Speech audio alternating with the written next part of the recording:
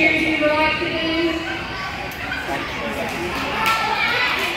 Let's go. Y'all may go out to the store, in the garden.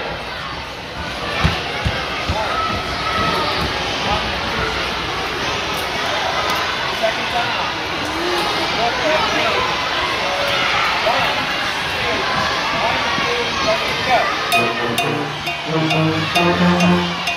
Go.